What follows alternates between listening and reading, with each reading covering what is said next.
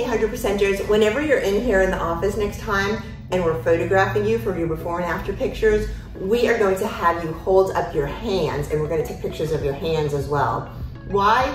Because I'm not gonna let you be that lady that's looking and feeling your best age up here and then looking 15 years older on your hands.